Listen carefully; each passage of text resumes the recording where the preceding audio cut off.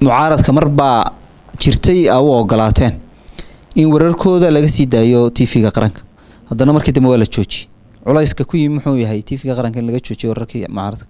Kulley anu intaan joogay tio laga jooji ma ogi. Laakiin hadda lama sii daayo wararkooda. De maba i yimaadaan iyagii baan filayaa. Waxa weye mucaaradku way inay iyaguna dib uga joogsadaan mooyaane.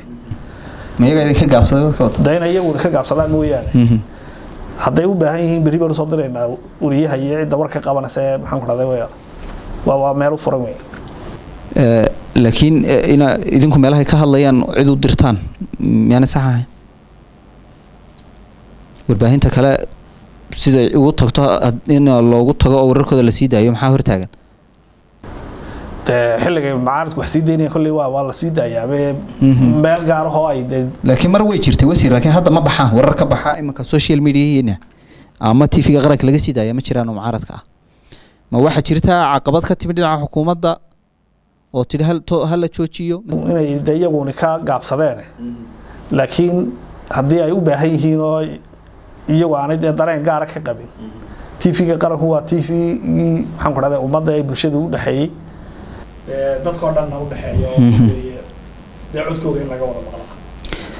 Ah, marka imanka eh, mucaaradka warkooda waa la sii waa sii dayn kartaan oo haddii ay wararkooda idiinkana waa baahin kartaan waa la baahin karaa asalaamu calaykum waraxmat ullaahi wabarakaatu. Kulanti wanaagsan meel kastoo aad nagala socotaan ku soo dhawaada barnaamij gaar ah oo aanu stuudiyaha tv-ga c b a kula yeelan doono wasiir ku-xigeenka wasaaradda warfaafinta dhaqanka iyo wacyigelinta siciid xasan habane ugu horeyn siyaasadda dabcan waxaad ka mid tahay siyaasiyiinta dhowrkii sane ugu dambeeyey ama labadii saddex sanadii ugu dambeeyey la magacaabay. Bal dadka intaan ku garanayn wasiir siciid xasan habane waa kuwan bismi llahi raxmaan raxiim alxamdulilah sana allah salaatu wasalaamu ala rasuli wasalam adiga waan ku salaamaya waad mahadsan tahay adiga iyo bahda c b r magacaygu saad sheegtay saxaasan abane oo ah iminka wasiir ku-xigeenka wasaaradda warfaafinta dhaqanka iyo wacyigelinta jamhuuriyadda somaliland. Dee ah muwaadin reer somaliland. Eh, Dad badan waxay isweydiinayaan sicitalo siyaasadda halkuu ka soo galay baagroonkiisa aqooneed kii shaqo waxbarasho. Eh, Anigu waxa weeye waxaan ku dhashay magaalada gabiley ee gobolka gabiley eh, dabadeetana xilliyadii markii ay eh, dagaaladii dhaceen yar dabadeed xagga buuramaan u kacay Een, ulada iyo waxbarashada waxaan ka bilaabay anigu magaalada gabiley Ee, labadii sane u ka dhigtay. Dabadeed buuramaan tagnay sanad baan ka dhigtay. Haddana eh, meelaha xilli burburkii kale u dhawaayay xagga muqdisho maxaan ku dhahay eighty nine xamar baan tagnay oo laba sano afraad iyo shanaad ka dhigtay dabadeed wadanka maxaan ku dhahday eh, markii taasina ay burburtay waxa weeye sagaashan iyo kowda aakhirkiisa adu sagaashan iyo labadiiba buuraman dib ugu soo noqday. Intaa wixii ka dambeeyey eh, wadankan ku noolaa oo macnaha waxa weeye buurame iyo intan baan joogay Eh, waxbarashadii dugsigii dhexe sare ilaa heer jaamacadeed maxaan ku dhahday buuramaan eh, ku qaatay waxaa jirta markaa dee waxaan intaa u yar tilmaamaya waxaan ahaa markaa een, da-yartii uu wadanku burburkiisa la kuusaday waxbarashaduna xilli ay bilaabayeen waxbarashada markaa intaa dhexe markaan ka soo qaado oo kale sagaashan iyo labadii baanu dugsi dhexe oo niman isu xilqaamay maxaan ku dhahday iyagu iskuud buurama ayaan dugsi dhexe maxaan ku dhahday anigoo amar dib uga soo noqday eh, shanaad lixaad kala bilaabay. Dabadeedna markaanu dugsigii dhexe dhammaynay maanaan helin secondary. Anu waxaan tusaale ahaan laba lood baa naga horreeyey laakiin anu tusaale ahaan waxaan dhameeyey sagaashan iyo afar. Sagaashan iyo afar baan dhameeyey sagaashan iyo shan baan dhameeyey qolaa sagaashan iyo afar dhamaysay qolaa sagaashan iyo saddex dhamaysay maanaan helin secondary. Waqtigii qeybo ka mid a dalkan dagaal ku socday Dagaal dhulka meelaha qaar dee xaggan waayo dowladnimadeenu waxay ka soo mar walba ku soo hanan qaado oo ay ku soo degaysay siduu gobol wadanku galbeed u kala xigo. Dabadeetana maanaan helin secondary sanad baan iska fadhinay qoladii naga horreysay labay fadhiyeen kuwii kale saddex bay fadhiyeen. Sagaashan iyo lixdii ayaa dabadeetana sagaashan iyo shan sagaashan iyo lix ayaa secondary ugu horreeyey la bilaabay marka dabadeedna hargeysana halkan iskuulka farax omar baa la bilaabay gebile iskuulka qalax baa la bilaabay bowrabna iskuulka shacal jawhar raja halkaa noo bilaabatay. Marka waa meelaha dowladnimada aad dareemayso dowladnimaduba waa rajo. Waayo anigu sagaashan iyo saddexdii markaan ka baxaynay maanan garanaynin dugsiga dhexe ka baxaynay maan garanaynin secondary maxaa ku xigeen dugsiga dhexe? Iyo xagga loo socdo. Halkee loo socda dan sagaashan iyo lix markaanu galnay secondarygii haddana jaamacad noomay muuqanin. Sagaashan iyo toddoba sagaashan iyo sideed markii la bilaabay jaamacadda camuud haddana secondary dabadeed maxaa ku xiga baan maxaan ku rahday noo daiftiimay aan soo ururiy ee secondarygii shacaljawaar baan ka baxnay. Waxaanu ahayn lodkii ugu horreeyey somaliland g c ay ka qaado. Isagoo isaga laftigiisu caqabadaha iyo dee culayskeeda lahaa. Waayo dee wadankaa nagu dul dhismayey wadankaa nagu dul dhismayey waxa weeye facilitieska iyo kalaasyada iyo buugta iyo waxaba dee waa lanagu dul dee ururinayay. Xilliyaan garanayaan marna xiisada qaadayna marna daaqadaha bannaan aanu leban intaan soo jejebino aanu dabaysha iyo dhaxanta isaga xidhaynay. Waxaa jirtay markaa labadii kun baanu ka baxnay secondaryga dabeed jaamacadda camuud baan galay. Jaamacadda camuud waxaan ka baxay kuliyadda waxbarashada laba kun iyo afar secondarygii baan dib shaqo uga bilaabay. Saddex sanaan ka shaqaynayey markaan saddex sana ka shaqaynayay laba kun iyo sideed jaamacadda camuud baan kuliyaddii waxbarashada dib shaqo kuliyadda uga bilaabay. Master baa lay siiyey jaamacaddu siisay. Wadanka ugandaan tegey laba kun iyo toban akhirkiisii marka laba sana markaan ku macnaa waxaan soo diyaariyay wax la idhaahdo counseling ama educational guidance and counseling. La talinta ardayda iyo waa macnaa waa psychological education muddo baan markaa jaamacaddii laba kun iyo labaiyo toban baan ku noqday. Xafiisyo kala duwan baan jaamacadda camuud ka shaqeeyey. Oo kuliyaddii waxbarashadoo ka bilaabay marka hore ahayd. Xafiis counselina xafiiska arrimaha ardayda. Xafiiska maxaa la yidhaahdaa kuliyadda qaybtan masterta ama postgraduate-ka. Iyo markii u dambeysay oon joogay qaybta human resourceka ama cududa shaqaalaha. Intaa wixii ka dambeeyeyna waxaan ku soo biiray siyaasadda amase waxa weeye maamulka xukuumadda. Madaxweynaha jamhuuriyadda somaliland baa wuxuu ii magacaabay waxa weeye wasiir ku-xigeenka wasaaradda warfaafinta dhaqanka iyo wacyigelinta oo aan muddo sanada xilkaasi aan hayo. Wasaaraddana dee aan tiimka ka shaqeeya ee maamulkayga ah inta badan mas'uuliyiinta la magacaabo ama waa shaqaale dowladeed ama waktiyada la ololeynaya iyo xisbiyada ku soo biiraan ama wasiir siciid sidee u siyaasadda ugu soo biira siyaasadda horta dee waxa weeye waa waa horta waa nidaam dee maamul. Qofkuna de markuu shaqeynayo marna institutional level buu ku shaqeeya marna waa level institution hal institution ka sarreeya public maxaan ku rahday officer oo de wasaarad iyo waxa weye hayad kale oo dawliya iyo wax noocaasi ah. Anigu de waxa weeye muwaadin qaranka ka tirsan baan ahaa oo muwaadiniinta reer somaliland muddadaana shaqeynayay waxaa jiray marka muddo jaamacadda camuudtaan uga tirsanaa kollaba marka dib regions baa kolley dhahay marka haa qofkii dee la magacaabayo. Xafiiskaasaa loo baahan yahay qof baa de loo dhiibaya gobolkii cid baa looga baahan yahay waxaan idhahnaa anagu camuud kolley waa meesha aadka loo soo eego. Marka haddaad u fiirsataanna tirada u badan ee wasiirada iyo mas'uulada inta badan awdal ka imanayay. Mas'uulo jaamacadda camuud ka yimaada. Ayay u badnaayeen intan dambe oo dhan. Marka jaamacaddii camuudan ka shaqaynayey baa kolley qayb ka ahayd in systemkii aan soo galo dabadeedna aan isu dhowaano maxaan ku dhahday xaggii de madaxweynaha iyo xukuumaddii marka dabadeedna aan soo gaadho inaan maxaan ku dhahday madaxweynihii magacaabidiisii. Ay u dhacdo aan soo galo systemkii. Mas'uuliyiinta xilalka ka haya dowladda ee ka soo jeeda gobolka awdal baad ka mid tahay. Shirgudoonkii halkii cabdisaaq khaliif baneeyey ayaa loo ordaya hadda gobolkaas ka jeedo mas'uulka guddoomiye ku-xigeenka labaad ee golaha wakiilada cali xamed jibriil waxa uu tartamaya guddoomiyaha golaha wakiilada. Bal arintaa eh, adigu ka wasiir ahaan saad u aragta Eh, waa su'aal fiican. Eh, waana waktigeeday taagan tahay. Waxaan ka yaroreysiinaya horta waxa weeye marka xilka ama boosishanka horta la buuxinayo sida aad in fara badanba maqasheen. Kow horta xildhibaanadaasaa xaqula oo labayo siddeetankaasaa buuxin doona haddii aan la idhaahdo iyagaana codkaa dee gaari doona laakiin kollaba waxaan laga tegaynin in bannaankii bal wax laysku sii yara afkarto wax la sii jiijiido oo sidee loo dhigaa la idhaahdo qodobka kale meesha yaallaa waxa weeye qofka mas'uulka ah ama xildhibaanka ah mas'uuliyadda laba heer baa mararka qaar waxa jira wax la idhaahdo road strain in dantii gobolka iyo uu ka fikiro dantii guud ee qaranka is idhaahdo mararka qaar baa inay labadaasi iswaafiqin imika tusaale ahaan gobolka cashuur baa lagu kordhinayaa alaab ka soo baxda oo kale tusaale ahaan.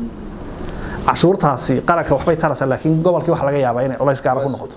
Dabadeedna uu is yidhaahdo xildhibaankii ama mas'uulkiiniyo midkee taageertaa gobolka iswaafaji tan oo kale markaa waxa weeye dadkii waxaa loo sheegay oo ay maxaan ku dhahday xildhibaanada qaarkood iyo mucaaradkaana dabcan riixaya. Ay riixayaan inay leeyihiin waxa weeye waxaan rabnaa anagu gobolkii awdal inaanu doorkan siino eh, speakerkii ama guddoomiyihii baarlamaanka. Okay fine.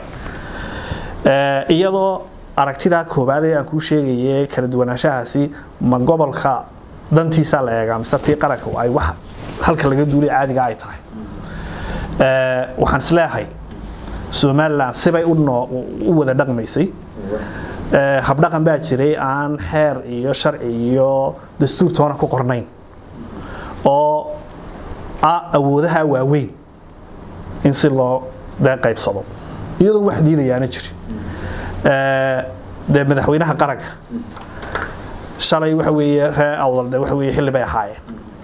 Sharciga wuxuu diidaya ma jiro kanna waa waxay u leeyihiin xaq oo ay maxaan ku dhahday qaban karaan iminkii haatan waxaan anu isleehay oo xukuumadda kulmiye iyo waxa weeye eh, madaxweynaha iyo qaranku i- iminkaan siyaasadda lagu shaqaynaya ay tahay.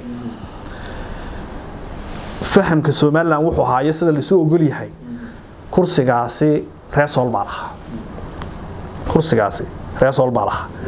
Mucaaridku markay maanta leeyihiin ree awdal baanu ku dhisaynaa maaha danayn iyo lexejeclo ree awdal u qabaane waxaan is leeyahay iyaguma danaysanaya sababtoo ah shalay dee waxa weeye macaaridkaa kursigaa helay reesoolla way ku dhiseen. Shalay iyo maanta faraqa keliya u dhexeeya waxa weeye inay dhibaato sool ka dhacday. Laascaanood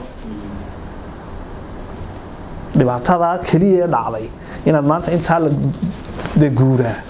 Sax maaha number two waxa kuu sheegaya macaaradka inaanay ka dhabahayn oo ay dee maxaan ku ree awdal uun ku beerlaxawsanayaan tiray mar walba soo qaadaan tira yidhaahdaan oo maalmihii u dambeeyey ka hadlayeen tirada codka intaa leega ee yaalla. Cidi wax ku yeelan mayso. Laba boqoloo cod baa yaalla. Cidda aan idinkala shaqaynin. Guddoomiyaha ama speakerka. Yaanay wax ku yeelin. Macnaha taas waxay sheegaysaa in eh, xisbiyada macaaradka khaasatan wadani tusaale ahaan ay dantooda uun eh, iyo iyagu ay dadka uun soo jiidanayaan laakiinse ay iyagu tooda ka hadlayaan Een, qodobka kale meesha yaalla waxa weeye bal waxay assume garaynayaa haddii tusaale ahaan ree imiga tusaale ahaan wadani wuxuu waa xisbi rabaa inuu eh, mustaqbalka dee wadankan hogaamiyo. Maanta arrintu waxay taagan tahay in la yidhaahdo warlaascaanood kursigaasi dee sidoodii ha u helaan haddiiba ay heli waayaan oo maxaan ku dhahday kursigaasi ay luusgareeyaan lagaga guuleysto berri ka maalin oo ay xilkiina yimaadaan wadani dee halkay ka bilaabayaan. Dabcan waxa weeye arrinta inaad uga sii dartuun maaha. Iyagu waxa weeye arrintaasi xukuumadda iyo waxa weeye xisbiga kulmiye waxay taagan yihiin. War arrintaasi waxa weeye laascaanood ha lagu dhiso reerkaasa iyo maxaan ku dhahday gobolkaasa xilkaasi lahaa hana loo daayo. Halkay ka bilaabayaan waxa weeye mucaaradkii ma laascaanood farahan ka qaadnayba hadday leeyihiin de inta gobol ee kale iyo waxa weeye haysu filaadaan oo reesol sidaasay xukuumaddii iyo somalilan faraha kaga qaadeen oo ay wadani structurekooga ka daayeenba waa waa wax gaara. Haddii kalese berri bal iyagoo ka soo ka soo qaadaan iyagoo halkan yimi dee wax maamulaya saamiga iyo waxa laga hadlayaa wuu sii cuslaan doonaa. Culayskaana qayb weyn iyaga ku daray. Waxaan is leeyahay markaa aragtidayda gaarkaa iyo ta xukuumaddu waxa weeye annagu xisbi ahaan kulmiye waxaynu arkaynaa danta qaranka. In la eego waanii ku lahaa marna danta qarankaad miisaamaysaa marna ta gobolkee inta qaranka la miisaamo culayska la saaro laascaanood iyo gobolkaasi waxa weye cid ka soo jeeda. Loo daayo sbiikarkaasi sidii uu structureku ahaa waayo dhibaa waxay soo kordhinayso kale oon xumaan hayn ma jiro. Waxa weeye dadkii iyo dee niyad reer somalilaanimadii muxuunbay maxamed sii yeeri doontaa. Haddii halkaasi waxaan isbeddel laga sameeyo. Marka aragtida gaarka iyo ta xukuumaddu. Tabashada reer sool ka hadashay reer sool wax badan bay tabanayeen oo ay ka mid tahay heshiiskii cali khaliif galeydh allah u naxariistee oo ayadaan xukuumadda kulmiye fulin uu geeriyooday. Iyo tabashooyin badan oo kale oo dadkii waxyaabaha ugu waaweyn ee ay dagaalku laascanood uga dhacayba ay ka mid ahaayeen ay sheegeen xukuumadda somalilan dadka lagu leynaya laascanood mara qura warbixin kamay soo saarin iyadoo oo ay tabashooyinkoodu badan yihiin reesool markooda horeba imakana ay yidhaahdeen waanu go-nay oo somalilan waanu ka go-nay in loo sii daayo oo shirguddoonka ama guddoomiyaha golaha wakiilada in laga qaado maxay iyo in loo daayo maxay macnaa xaggiina ka kulmiy ahaan soo kordhinaysa? Daniyo taasi waa wax isu dhowba maaha. Waxay soo kordhinaysaa waxa weeye. Reesol ma ku soo noqonayaan in guddoomiyaha golaha wakiilada faratona saaro all of a sudden dee wuxuu maalin keliya bayna cashiyati maduxaha ku dhici maayaanoo maanta guddoomiyihii laga dhigay way. Soo noqdeen waa laga yaabaa in dee wax saa u dhacayo saa u degdega aanay noqonin laakiin adigu xaggaaga markaad ka taagantahay arrinta waa inaad ilaa intii suuragala aan tixgelin ku siiyaa waxa weeye gobolkii anigu waxaan u tixgelinayaa weli inaan dadaal samaynayo oon guddoomiyihii iyo wixii gacantayda ku jiray aan anigu dadaal xaggaygii samaynayo xukuumaddu markaa waxay ku dadaalaysaa maadaama kursigan marka horeba ay lahaayeen reesool sidoodii ha loogu daayo. Dee wixii maqan baa la raadini marka laakiin inta la hayo kala tuur macnaheedu maaha. Markaasay macaanigu u fikiraya waxa weeye tusaale ahaan intan la hayana dee kala tuur hadhow mooyaan dees ay wax noqon doonaan marka xukuumaddu waxay ka eegaysaa waxa weeye macnaheedu maaha iminku wax walba soo dabi doona. Iminkaba dabcan faa'iidooyin buu dee leeyahay oo dee representative buu leeyahay. Tusaale ahaan waxa weeye dee odagaa weyn saameynteedu yeelanayaa laakiin inta la hayo in laga qaado waxaa ka qurux badan inta la hayo inta loo xajiyo in wixii kale dhimanna iyo wixii kale tabashadu tahayna dee laysla eego waayahay sool intaynaan ka bixin reer sool iminka halka ay taagan yihiin. Somalilan waa ka go-on bay taagan yihiin. Halka ay iminka taagan yihiin ka xukuumad ahaan ma idiin muuqataa inay somalilan dib ugu soo noqonayaan rajaha horta lagama nuquusto. Way taasi way insha allah way iman doontaa. Weliba waxaan filayaa sida imiga intan dambe ay waxu socdaan. Xoogaga soo kala horjeeda ee soo ifbaxaya waxa suuragala khilaafka ayaga ka dhexeeya ka wada. Qasab. Waxay keeni kartaa in xaqiiqadii la garto oo ay dadku intuu caqli ugu soo noqdo ay dantooda dhabta ah. Intay dib u arkaan ay insha allah somalilantoodii haddii la idhaahdo ay ku soo noqdaan. Waa wax suuragala inay reer sool ayagu iskhilaafaan somalilan madan baa ugu jirta? Oo dhexdooda khilaaf ka bilaabmo? De horta dabcan cidna waa cid dadkii u danaynaysa cidna waa cid waxa weeye dhibaatooyin kale inay ka dhex abuuramaan oo mushkilada lafteeda ku dhex noolaadaan doonaya. Xoogaga kala duwan ee dhex jooga ee ay xukuumaddu ku dadaalayso inay kala saarto inta dhibta wadanka ka dhex wada iyo inta shacabka ahee saxda ah. Intay xukuumaddu kala saaraysaa waa taas. Waata ilaa bilowgiina mar walba isku qasmayey ee isgelayey ilaa imikana aad arkayseen ayaamihii u dambeeyey in kala duwanaanshaha noocaasi uu ka soo baxay. Marka ciddii waddankan u danaynaysa ee bulshada u naxaysa ee damqasho ay ku jirtaa waxa weeye de waa la laakiin ciddii aan damqashadaasi ku jirin dana kale wata. Ciddaasi waxa weeye fiiro gaara bay dee xukuumadda u leedahay. Khilaafka ama kala duwanaanshaha la sheegayana waxa weeye de markay iyagu laba ninoon xadhiga dhinac u wada jiideyn ay meeshiisu yimaadaan. Dabcan khilaafka uguna soo bixi. De waxaa laga yaabaa xukuumaddiina in vacuumkaasi ay ka faaidaysato dadkaygii kala soo dhex baxdo marka.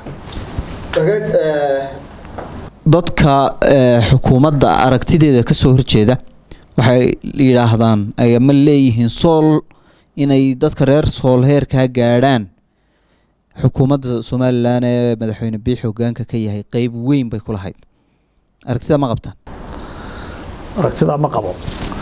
Aragtidaa waxaan xukuumaddu u qabin waxa weeye de xukuumaddu intaa waxay ka shaqaynaysay de waddanka iyo amnigiisa iyo dejintiisa.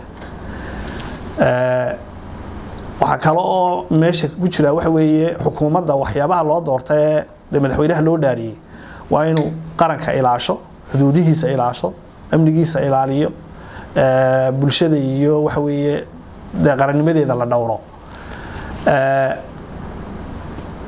Waxbaa ilaa muddo dee ku dhex jirayey oo dhibaato shacabka dee ka dhex geysanayey xukuumaddu waxa weeye intaasiba dee way ka shaqaynaysay oo amnigii dee maxaan ku dhahday gacanta lagu hayay.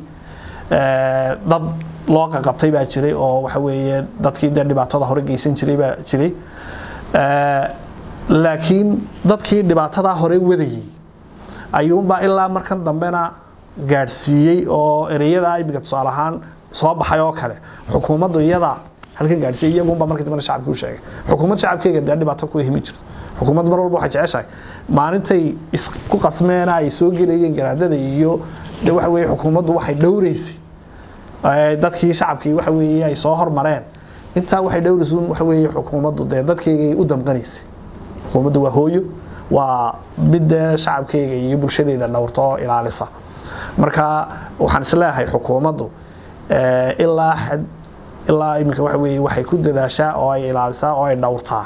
Sidii shacabkaasi reer laascaanood ay dowladnimadeedii iyo nabadoodii ay dib ugu heli lahaayeen. Laakiin cid baan rabin oo taa obasidkeyga tamar intaa ka badan ku bixinaysa ama xoog iyo awooda isticmaalaan ha noqdaan iyo maxaan ku dhahda dagaal ay galaan ama af iyo propagandaba ha noqoto iyaga ka shaqaynaya laakiin xukuumaddu waxaa ka go-an in qarannimada iyo isku haynta bulshada ay ku dadaasho. Gobolka awdal mas'uuliyiinta ka soo jeeda ayaad ka mid tahay cabashooyin laga qabo wasiirka wasaaradda ganacsiga iyo dalxiiska ayaa maalmihii u dambeeyey ka soo baxayey oo siyaasiyiin ka tirsan isla xisbiga kulmiye ay wasiirka ku eedeynayeen inuu jifadiisa un maadaama madaxweynaha ka agdhow yahay magacaabayo. Bal ka warran wasiir arrintaa arrintaasi horta mas'uuliyiinta xisbiga ka tirsan magan garan. Cid mas'uul xisbiga ka tirsan oo eedayn samaysay ma ogaanu. Kama tirsana kulmiye? Ma oga ma ma kuma ogaanu xisbiga. Kama tirsana miya? Uma malaynayo uma malaynayo ka tirsan yahay dee xukuumaddana nin ka tirsan ma. Aha habase yeeshee qofku aragtidiisa dee waxbuu iska odhan karaa? Marka laga hadlayo magacaabid dee madaxweynaha iska leh. Magacaabid dee heerar baa kala jiro waa garanaysaan. Laakiin inta badan gobol walba mas'uulka ka soo jeedaa ayaa u qaabilsan in uu u soo kala xulo ama cidda madaxweynuhu magacaabayo u keeno. Imika tusaale ahaan waxaan nahay lix wasiir. Saddex wasiir saddex wasiir ku-xigeen bal wasiir ku-xigeenada iska badaayo labada wasiiree kale. Saddexdaa wasiirda way u siman yihiin. Ma garanaysaa? Digreetada madaxweynena madaxweynuhu isagaa awooddaa leh sharcigu isagu siiyey. Xulashada isagaa leh waa laga yaaba dee in dadku brobosalada iyo sifiyada iyo haddii cidi tusaale ahaan wax dee cidi soo dhaweyso oo isku xidhka samaysaa waa iska suuragal. Waxaan se is leeyahay wuxuu ka jawaabay ama ka hadlay arrin aanu xaqiiqadeeda ogeyn. Arrimaanu xaqiiqadeeda ogeyn iyo halkay ka yimaadeen iyo sidee wax loo magacaabay iyo siduu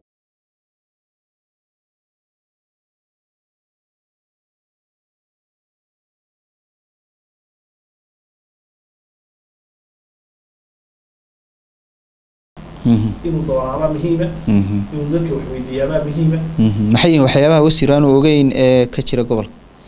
Ma xilal isla reerku eedeynaya wasiiru ka soo jeeda leeyihiin buu duudsiinaya eedda uu sheegaya laftigeeda ee maxaan ku dhahday kowan ee kale awoodda horta madaxweynaha le number two siday u dhacday maxaan qofkan iyo magacaabidiisu siday u dhacday. Mararka qaar iyagoo isagoon war fara badan ka haynin meelaha qaar ayuu qofku iska hadlaya oo caadifad ku hadlaa. Marka waxaan is leeyahay wuxuun maxaan ku dhahday haddii dadku dee gobol marka laga soo wada jeedana dee waxaba suuragala oo wasiiradiina lixdaaba marka laga yimaadaba sababta keligii loo targadgareynaya maxay tahay? Horta taasi isagaaba la weydiin karaabe laakiin qodobka meesha yaalla waxa weeye odayaashaana anugu maan arag qodob ay sheegeen inay wasiirka hadalkiisa ku celcelinayeen magaciisa mooyaane. Adiguba ku weydiiye wax gaaraho ay ka cawdeen oo gaaraho ay sheegeen. Dee igama soo bixin. Marka de isaga maxaa gaar lagugu haystaana de isaga wasiirkaaba la odhan karaa. Laakiin inka kale sheegaysa waxaan is leeyahay xagga xilalka iyo waxaasi. Qofku inuu nidaamka iyo sida wax magacaabadu u dhacday iyo uu ogaado oo uu waaqici u noqdo oo xaqiiqada horta dhabtaa ogaado.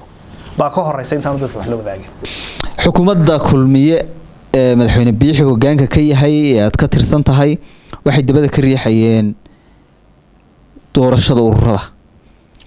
Doorashadii ururada iyo tii madaxweynaha labaduba kalkoodu way taagan yihiin sida caadiga ah.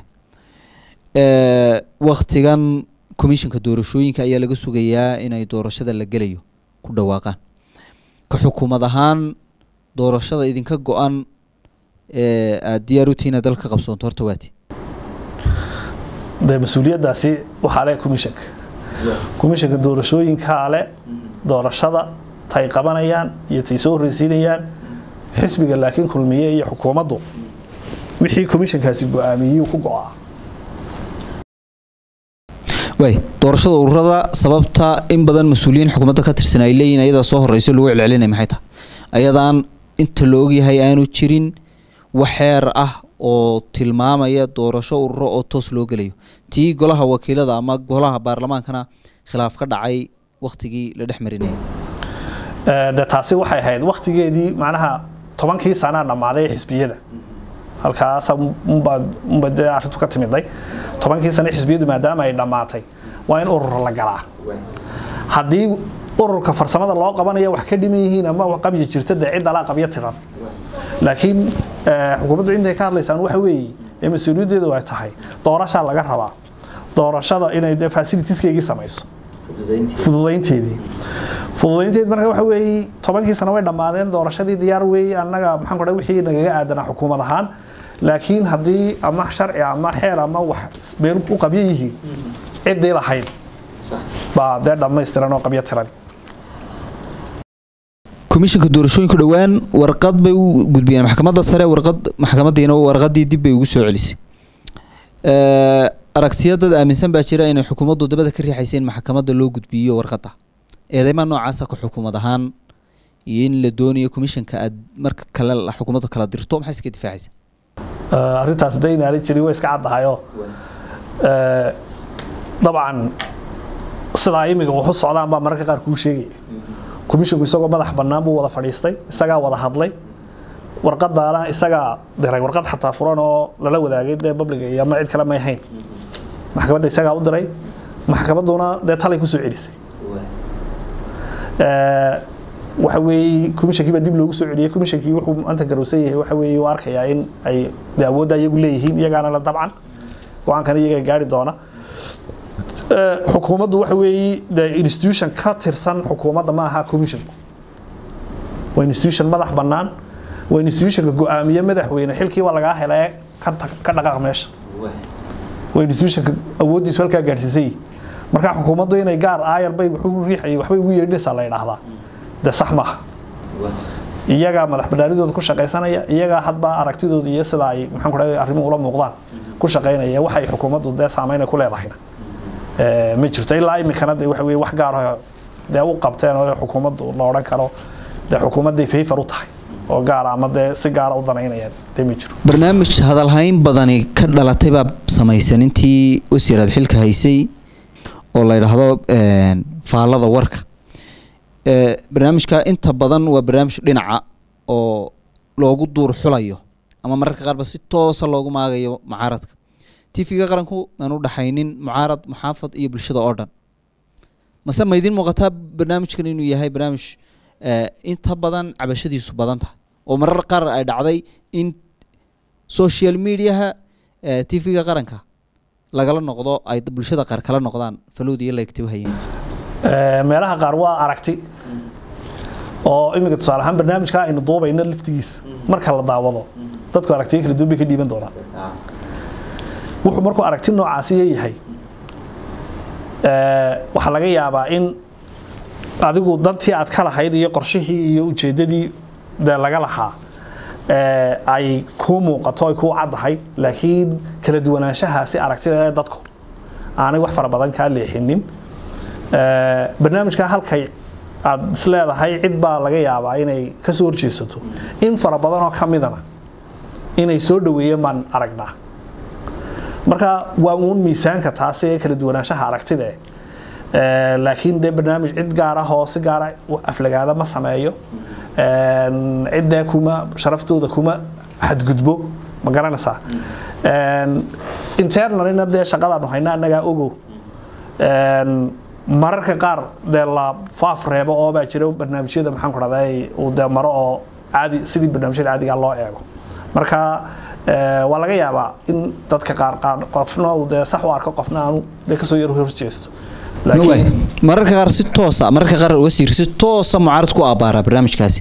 Mucaaradka maanu cashuur bixiyo ahayn oo dadkii cashuurta wasaaradda warfaafinta ay ku qaadanaya mushaharkooda ka mid ahayn. Maya mucaaradku maanu dhex noqon karin tv qaran. Maya de waxa weeye waa wax saxa. Mucaaradka laftigiisu waxa weeye intuu yimaadaabuu ka hadli karaa waa waa wax loo ogol yahay. Mucaaradka laftigiisu intuu yimaadaabuu ka hadli karaa oo wax ka sii dayn karaa oo waraysiya ka bixin karaa oo waa wax loo ogol yahay. Tvga qaranku waana maxaan ku dhahday waa hanti qaran ma garanaysaa? Marka de wax gaarahoo uu si gaara uu taargad ugu yahay mucaaradka.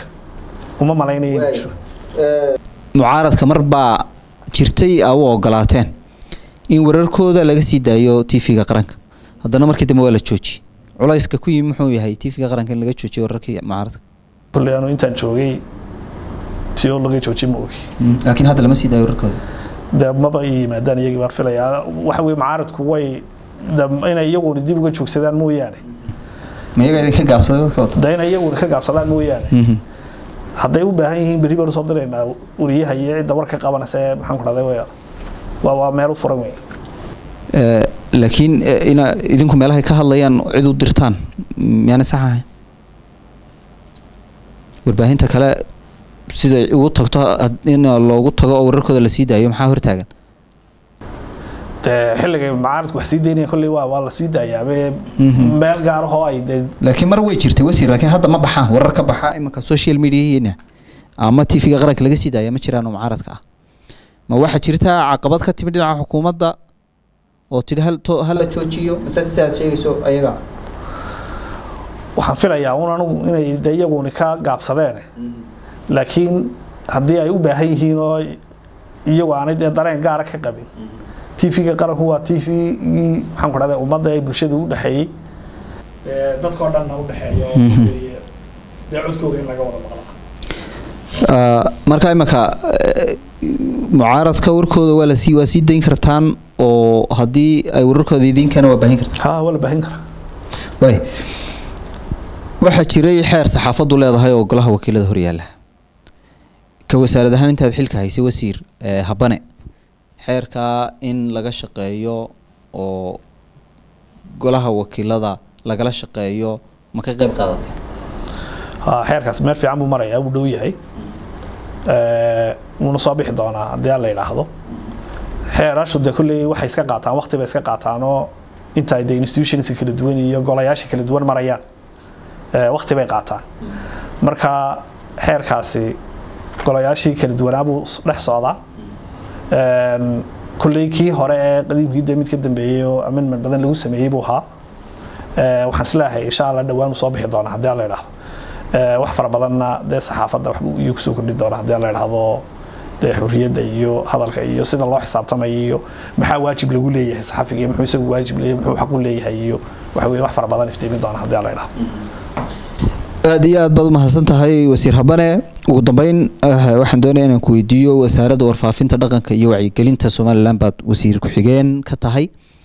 Inta badan xukuumadda waxa afhayeen u ah wasiiradiina warfaafinta wasiirka warfaafinta ku-xigeenka xukuumadda madaxweyne biixi muddadii ay joogtay. Maxaa kaga duwantihiin xukuumadihii hore? Maxaa hoosu dhac ah ee xukuumadihii hore idinku dhaameen maxaa korukac ah ee xukuumadihii hore kaga duwantihiin dabcan waxa weeye xukuumadda horta waxay xukuumaddii kulmiye oo sii socotay. Xukuumaduhuna iyo horumarkuna sidiisaba dee wax maalin wada qabsamo qabsoomo maaha. Dhagaxaad maanta meel dhigtay dee waxa weeye dhagaxa ku xiga cidda kaa dambaysaabaa meeshii dee ka sii qaada waxaan is leeyahay maadaama waktigu dee uu kala duwan yahay kala dambeeyey xukuumad walba dee duruufaheega iyo caqabadaheegay dee leedahay dee labaduba way imanayaan. Wax gaara tilmaami kar maayo hadda laakiinse waxa weeye dee horumar badanna dee idinba waa dareemaysaan oo xukuumaddu halkii xukuumadaha hore halkii ay dhigeen dee waxa weeye wax fara badan oo lagu daray oo dee infrastructureku ka mid yahay jidadkii iyo waxa weeye horumarinta biyaha iyo wax fara badan ay ka mid yihiin. Dee culaysyadeedana oo tusaale ahaan xukuumaddan dee waxa weeye adduunyadiiba dee isbeddel dhaqaalaa jira. Covid baa adduunyadii oo dhan saameeyey. Kala xidhan baa dhacay. Dee waxaasoo dhan adduunyada wayse saameynaysaa marka caqabado badan iyo culaysyo badan dee marka ku soo biiraana waxay noqonaysaa wax dee dib xukuumadda u dhigi kara. Waxaan saa is leeyahay dee xukuumaddu xukuumaddii hore ee kulmiya uun midde raadkeygii sii haysay horumarna dee intaa la sameynayay oo dee waxa weeye dadaal ay xukuumadda ugu jirtay in dadaalkeyga dee ay sii laba laabtuba xukuumadda kulmiye ee aada wasiir ka tirsan tahay waktigan imanka ah xisbiga kulmiye weli guddoomiyihiisii waxaa ah madaxweyne muuse biixi cabdi intee in leeg buu muuse biixi cabdi sii ahaanaya guddoomiyaha xisbiga kulmiye se imanka haddii doorashadii madaxtooyada loo diyaar garoobo. Sida aada xustay doorasho kastay commisshinku ku dhawaaqaan maadaama diyaar u tihiin. Cidda kulmiye maanta musharaxa u ahi waa ayo kolley shirka xisbigu ka soo bixi doontaa taas. Shirka xisbiga lagaga dhawaaqi doonaa shirka xisbigana lagu go'aaminaya haddii aan la idhahdo ilaa iminka laakiin madaxweynaha jamhuuriyadda somaliland ayaa u murashax oo xisbiga dee u ah isaga maxaan ku dhahday kolley shirka xisbiga inkastoo ay ku xidhan tahay madaxweynaha ah laakiin cidda u ah kolley murashax xisbiga. Warar baa jira sheegaya in xukuumaddu dooneyso ama kulmiya doonayo doorkan wasiir maxamed kaahin musharax laga dhigo guddoomiyana laga dhigo guddoomiyana laga dhigo saajin oo isaguna boorama ka soo jeeda arrintaa ka war kolley waa waxyaabaha dee ugu dhiban uun shirka xisbiga. Kutarkutaanka banaanku dee waa wax iska gaara laakiin meel lagu dhawaaqay oo lagu dee anooskariyey taas. Ma jirto ama maxaan ku dhahday si cad loogu sheegay. Xisbigaasi kolley dee go'aamin doona marka ay xilligeeda aada baad mahadsan tahay adigoo fursadan wasiir ka faaideysanaya maxaad is leedahay fariin bulshada u diri karas? Hadday noqoto gobolkaaga boorama gobollada kale soo dhow? Waay waad aad baad mahadsan tahay. Dabcan waxa weeye bulshadu waxaan is leeyahay khaasatan gobolkaygii waxaynu u baahannahay in goboladu ay ku tartamaan horumarka iyo dadaalka qarannimada loogu jiro. Gobol kastaaba inta uu isagu qabsadee uu dadaal horumar iyo midnimo dhexdiisa ku dadaalo ayaaba maxaan ku dhahday de waxa weeye wuu ka dhex muuqanaya qaranka intiisa kale. Guud ahaana shacabka jamhuuriyadda somalilan waxaa u muhiima inuu midoobaan culaysyada jira ay u midoobaan ay qaranka danta guud mar walba la arko. Danta kan danta yaree gaarkaa ama tu xisbi ha noqdo ama tu reerada ama waxa weeye waa wax gaaban haddii ta qaranku ay iyo midnimada guud iyo danta qaranku ay meel marto ay wax noqoto ayaa ta hoosena ay maxaan ku dhahday wax noqon kartaa oo danta gaarkaana la gaari karaa. Waxaan is leeyahay midnimo iyo walaalnimo guud oo reer somaliland ayuu qarankani wax ku noqon karayaa. Kaasaan idinku ogahay. Aad baa umahadsantii wasalaamu calaykum waraxmatullahi barakaatu intaasi waxaa ku eeg daawadayaal waraysigii gaarka ahaa eanu la yeelanay wasiir ku-xigeenka wasaaradda warfaafinta dhaqanka iyo wacyigelinta ee somalilan siciid xasan habane intaynu ku kulmayno barnaamijyo kale nabadgelyo